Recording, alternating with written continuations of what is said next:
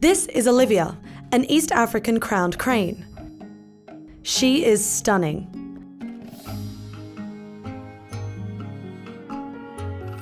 She stands about 4 feet tall with a wingspan of 6.5 feet. Her legs are long and slender, perfect for wading through grassy areas.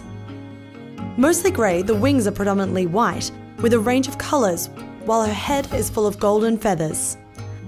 East African crowned cranes are well known for their elaborate dancing. These cranes are omnivores, eating everything from plants to insects, snakes, small fish, and more. Native to eastern sub Saharan Africa and down to South Africa, they prefer living in grassland areas near the water. The crowned crane is the national bird of Uganda, featured on its flag. But even with such iconic status, we're losing them. In less than 10 years, their population has decreased by over 50%. Habitat loss and illegal removal of eggs and birds from the wild are its biggest threats. This is the East African crowned crane.